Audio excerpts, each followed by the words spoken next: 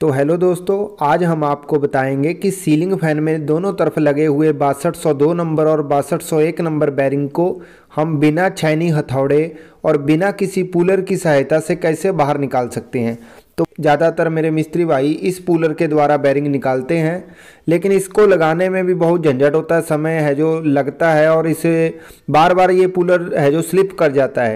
तो भाइयों, ये अनोखा यंत्र है जिसके द्वारा हम सभी पानी वाली मोटर से लेकर के सीलिंग फ़ैन तक के हैं जो वो बैरिंग एक ही जुगाड़ से निकाल सकते हैं। इसको बनाने में मित्रों, इसको देखे, इस तरफ़ हमारा जो घाट है, इसमें जो रॉड चला जाएगा, सभी का बैरिंग ये निकाल देगा। और इसको जहाँ से इसकी लंबाई यहाँ तक है जो आठ इंच है मतलब अगर हमारी आठ इंच लंबी राड रहेगी तो भी ये बैरिंग को है जो बाहर निकाल देगा। तो सबसे पहले हम बासठ नंबर बैरिंग को इसकी मदद से है जो बाहर निकालते हैं। तो इसको निकालने के लिए सबसे पहले इसे ढीला करेंगे और हमारे पंखे की साफ्ट चार इंच लंबी होती है, लेकिन इसे हमने आठ इंच लंबा बनाया ताकि आठ इंच का बैरिंग भी बिल्कुल आसानी से है, जो आठ इंच वाली शाफ्ट का भी निकल जाए। तो धीरे धीरे इसे टाइट करेंगे बिल्कुल अकेले।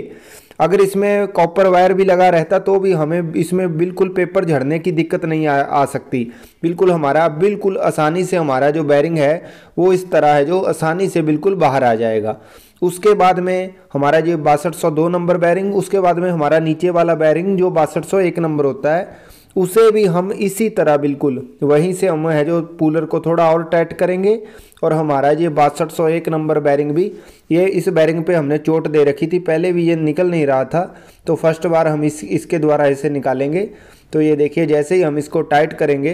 तो हमारा बैरिंग है जो, वो धीरे धीरे चलना चालू हो गया है तो हमारा बैरिंग टूट जाएगा, इस पूलर को कुछ नहीं होगा, क्योंकि बहुत हैवी मटेरियल से बना हुआ है, और पूलर की जो यहाँ से यहाँ तक लंबाई है वो आठ इंच है, और दोनों तरफ़ है जो लोहे के जो हमने रॉड लगा रखे हैं, और इसकी चौड़ाई है जो ढाई इंच है और यहाँ पर हमने एक हैवी मटेरियल की है जो पत्ती लगा रखी है और नीचे भी हमें है जो हैवी लोहे की है जो प्लेट लगा रखी है और जिसमें ये कट दिया गया है। तो अगर किसी भाई को ये पूलर चाहिए है, नहीं तो आप सबसे अच्छी बात है इसे खुद बना लीजिए। अगर नहीं आप बना सकते तो आप नीचे दिए गए फ़ोन नंबर पर संपर्क करके इस कूलर को घर पर मंगवा सकते हैं। तो भाइयों जाते जाते ज़रूर चैनल को सब्सक्राइब कर लीजिए और वीडियो देखने के लिए सभी भाइयों का धन्यवाद। Thank you